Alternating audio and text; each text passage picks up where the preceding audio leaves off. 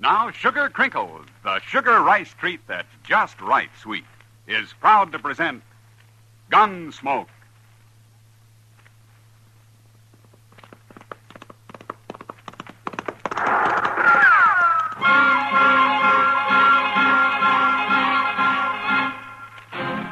Around Dodge City and in the territory on West, there's just one way to handle the killers and the spoilers, and that's with a U.S. Marshal and the smell of gun smoke.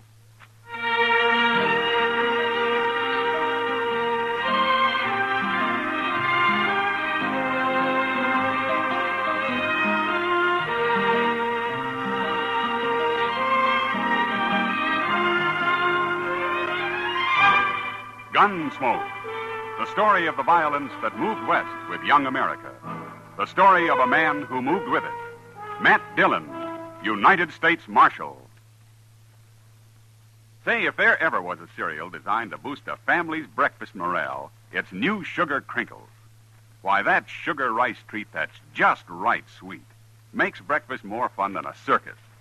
Come breakfast time, just pour on milk, and you've got a breakfast main dish as you like it. Those golden nuggets of sugar coated rice we call sugar crinkles are really special.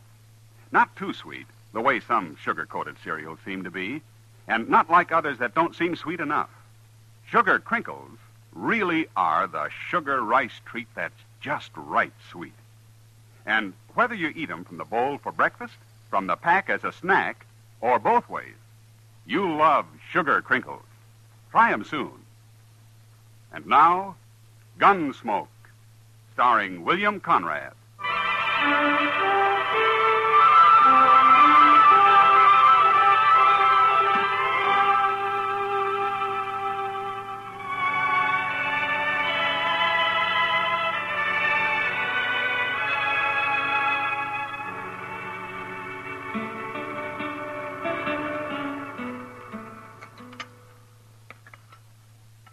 One thing about Dodge being quiet like this, there's time for fishing. Ah, beer, steak, and catfish stew makes for a good supper. You two are going to be sick, stuffing yourselves that way. Well, now, Kitty, Chester spent all day catching these fish. He's got a right to eat what he wants. I've heard of people who go to bed with an asafetida bag around their necks when they eat too heavy. I'd rather be sick. oh, i it's not so bad. Once you're used to it, it kind of lulls you to sleep. Uh, more coffee, Miss Kitty? Uh, no, thanks, Chester. It's late. I better get back to my place. You're a good cook, Chester. Oh, say, thank you. If you ever get tired of the law business, Chester, maybe you could get a job at Delmonico. The regular customers might get a little tired of catfish stew, Matt. Come on, Kitty, I'll walk you back. All right. Uh, will I see you in the morning, Mr. Dillon? I'll be at the office early, and I want to ride out to Jim Redigo's place and look at a horse. Can I go with you? Uh, sure. Maybe you'll see something you'd like to have. Uh, we'll leave early before it gets too hot. Good night. Good night, Mr. Dillon. Miss Kitty. Good night.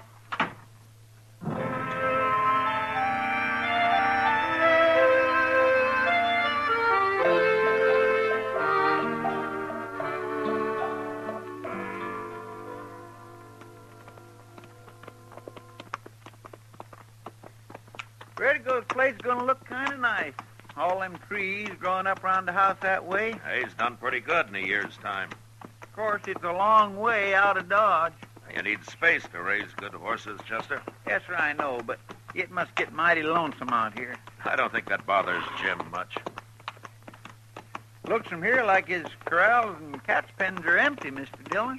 Well, maybe he's moved his horses out to get the last of the summer grass. Uh, you got any special horse in mind? Well, the last time he was in Dodge, Jim was bragging up a sorrel stud he's got. Might take $30 for him. Well, good horses come high, Mr. Dillon. Yeah. Now, let's pull up here. The horses will stand.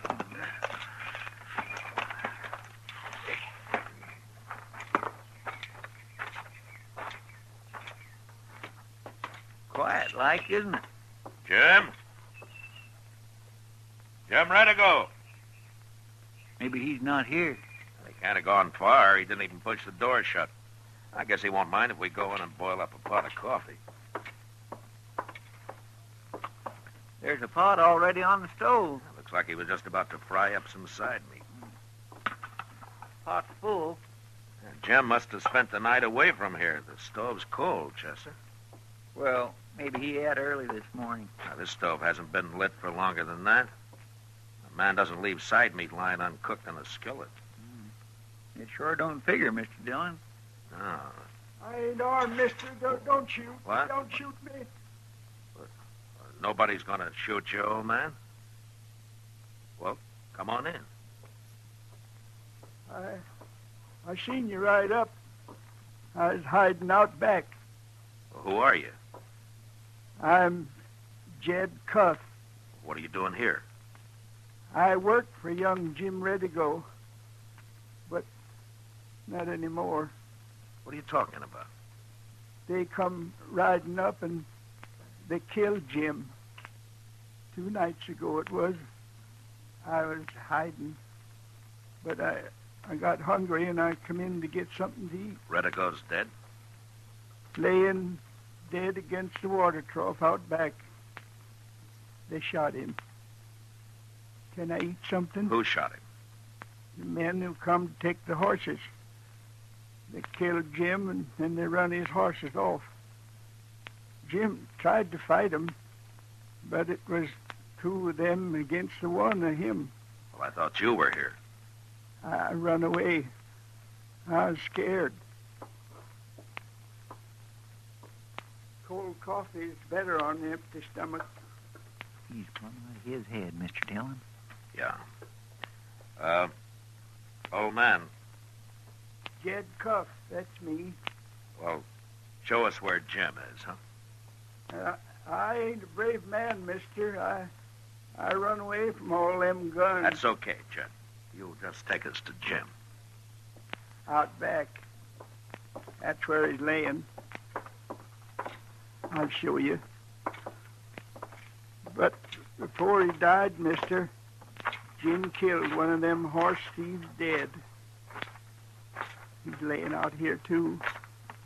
You think this old man's telling the truth, Mr. Dillon? Well, as straight as he can remember it, Chester. It's just that he's old and not very bright anyway. There he is. There's Jim. And there's the other fellow laying right where Jim shot him out of his saddle. Uh, Jim was a fine boy.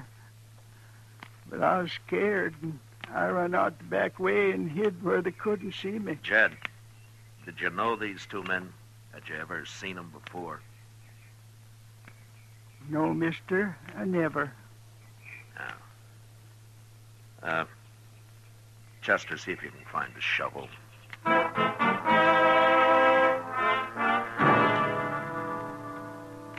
It took less than an hour to bury Jim Redigo and the other men. When we were through, Jed put a sort of marker on each grave, and we went into the house. Chester and I found some food in the cupboard, and we fed the old man. Then we started him for Dodge, happy enough astride an old donkey we found grazing free behind the house. Then Chester and I watered our horses, and a few minutes later rode away from the Redigo place, following the two-day-old sign of the stolen horses.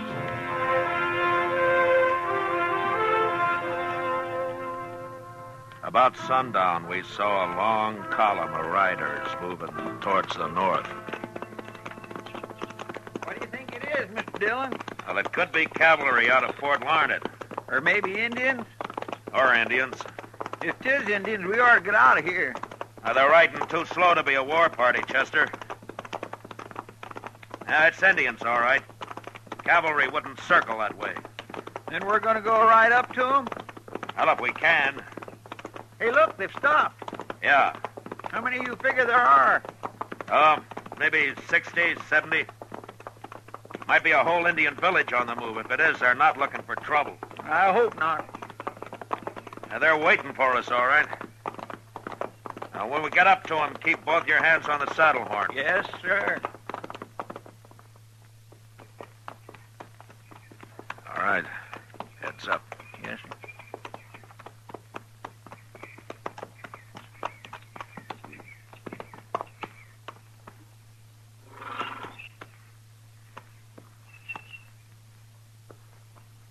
They're just sitting there, looking at us. They'll talk when they're ready.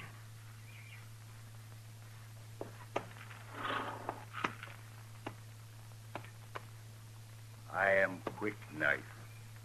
My name is Matt Dillon. Uh, my braves and I have watched you come. You are looking for the white man. That's right. The white man sold us horses. Our squaws ride them now. He stole those horses from another white man. We bought the horses with gold. He killed a man when he stole. You have come to take back the horses and punish the man. Yeah? Uh, the horses you cannot take. The man you must find for yourself.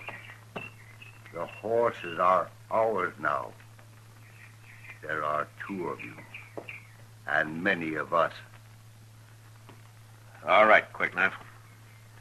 Uh, what about the man? He left the horses with us and rode west.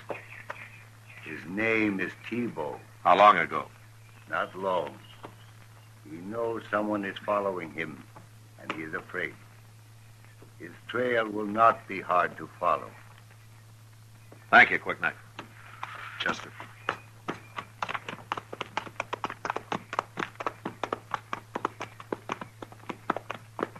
Wonder if they're going to try Don't look back. Well,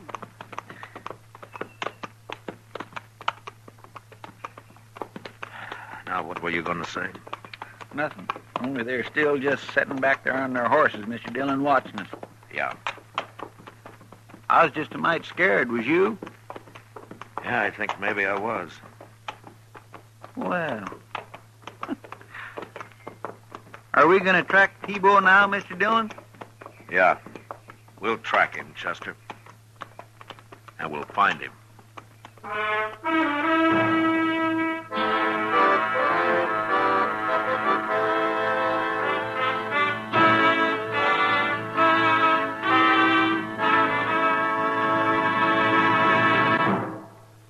If your family is getting weary of the same old breakfast cereal every morning, time to retire it and introduce them to New Sugar Crinkles.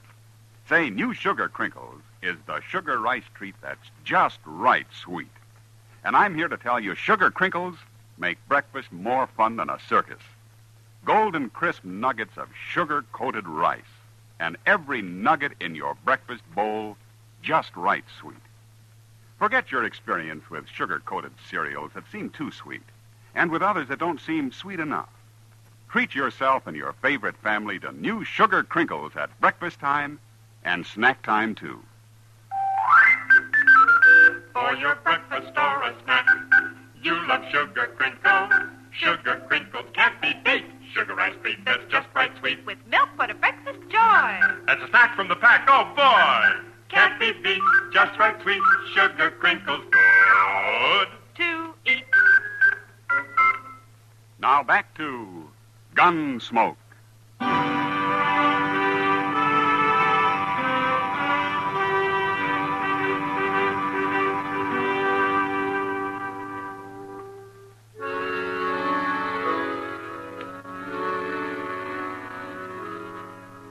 Soon after we left the Indians, night came, and we couldn't track Tebow any farther. The next day, we rode hard, following his trail towards the west.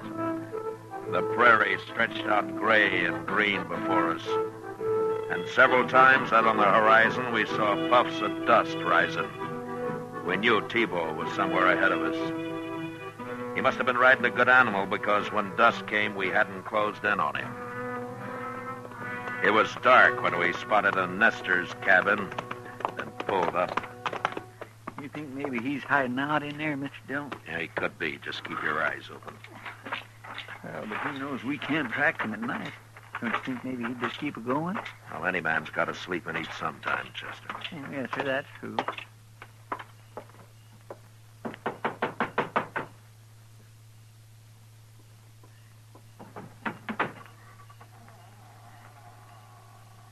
What do you want? I thought maybe we could get some food and water our horses. Who are you? My name's Dillon. We don't have many strangers out here. I'm a U.S. Marshal. Well, I've got some tater soup working. Thank you. Uh, this is Chester Proudfoot. How do, ma'am?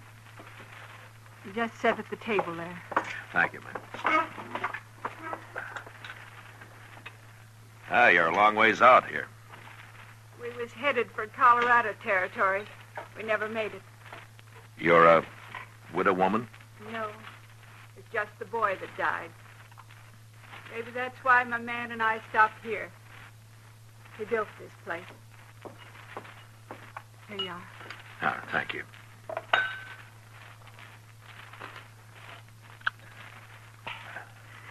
Say, this is real stout soup. Where is your husband? Hutton. Uh-huh. Well, night hunting's a pretty poor thing, isn't it? Yeah. Sometimes the body don't have much choice. When'll your husband be back? You're asking a lot of questions, mister. I told you I'm a U.S. Marshal. People have good luck and bad. Ours has been mostly bad.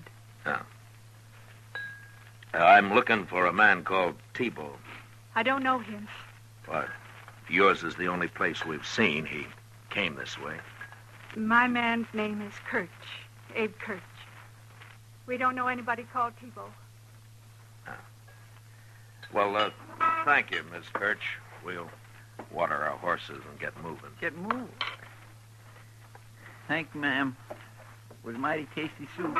You're riding on now, ain't you? Yes, that's right. You can water your horses right out there in front.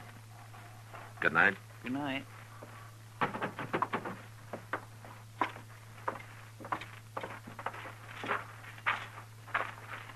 Well, one thing, she wasn't too talky of a woman, at least. Uh, living out here so long, maybe she's lost the habit. Yeah, maybe.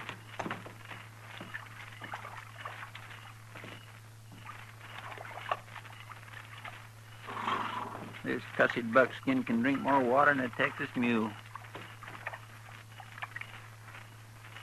Yeah, they've had enough.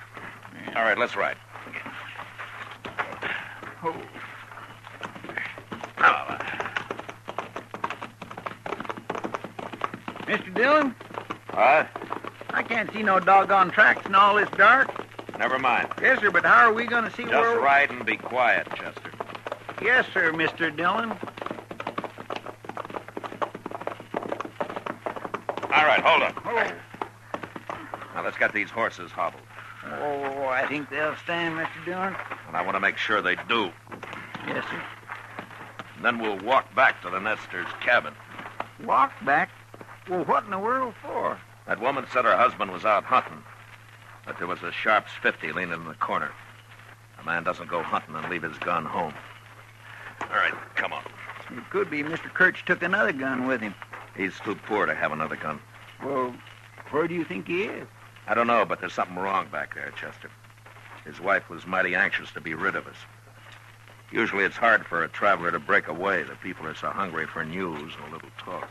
Mm, I guess that's right. Yeah. Now watch where you put your feet. Yes, sir.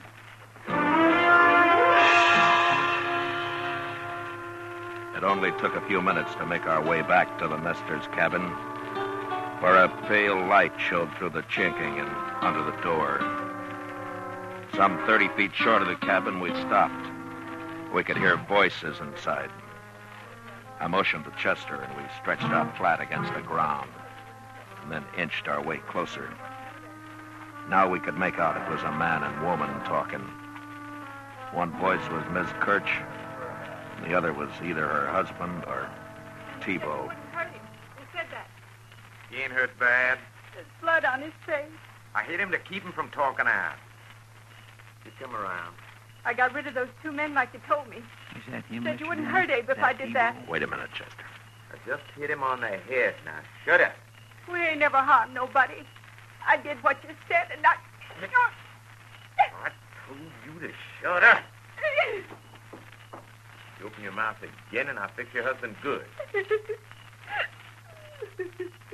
Get your food out all on that table. Gotta have me something to take along. Chester. He's busy now packing up that food.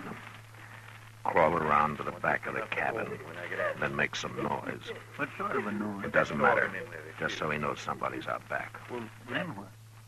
I don't know yet. I'll get going.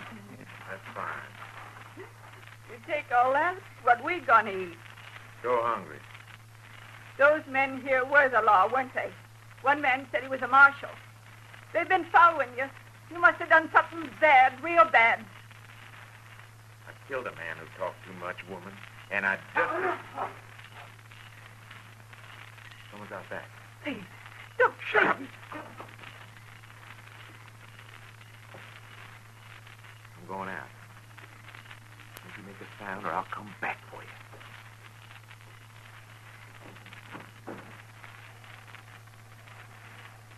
All right, Tebow, drop it. What? I can see you, Tebow. Drop your gun or I'll kill you. Well, now, uh, hold on, mister. Let's, uh, let's talk a minute, You huh? can't shoot at my voice. Now drop it. No, I won't.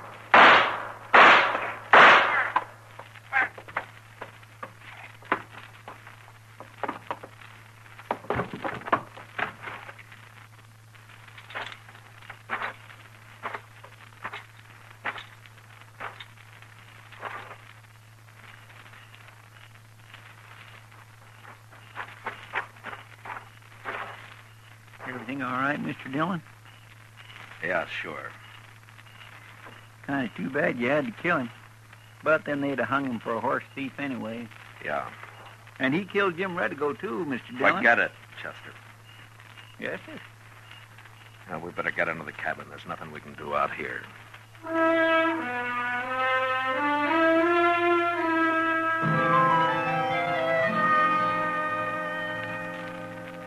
We did what we could to make Kirch rest comfortable, and then sat up half the night talking to his wife about uh, Dodge, the railroad, stores, all the news a woman would be hungry for.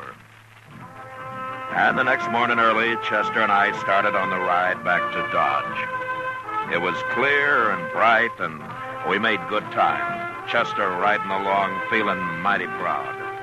The nester had said he couldn't feed another horse, and so Chester was trailing his own buckskin and riding the big red stud that Tebow had been using.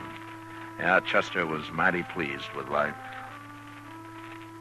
And Tebow, who'd stolen the stud a few days earlier from Jim Redigo, was buried out on the prairie with stones piled on his grave to keep off the coyotes.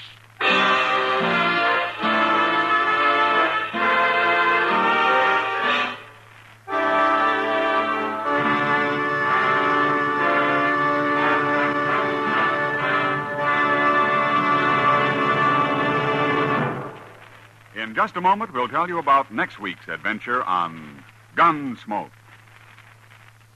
If you want to be a real good scout, Mom, tell you what to do. See that your whole tribe sits down to post toasties for breakfast in the morning. What a way to start the day for every big and little Indian in your wigwam. You see, post toasties are heap good cornflakes, spankin' fresh, crisp, with that sweet kernel corn flavor toasted right in. It's a feather in your cap to serve 'em. Sure, because Post Toasties are not only the best thing that's happened to corn since the Indians discovered it, Post Toasties are the best thing that ever happened to breakfast. And say, if you want to make a good thing even better, add your favorite fruit to that bowl full of Post Toasties, sugar, and milk. Mmm, it's mighty delicious nourishment. Get Post Toasties, the heap good cornflakes, next time you shop.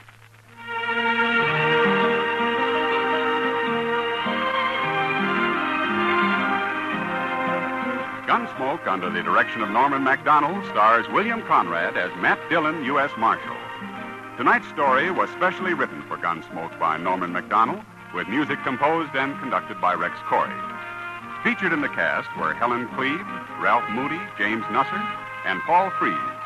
Parley Baer is Chester, and Georgia Ellis is Kitty. Ken Peters speaking. Join us again next week as Matt Dillon, U.S. Marshal, tries to prevent mass murder during his fight to bring law and order out of the wild violence of the West in Gunsmoke.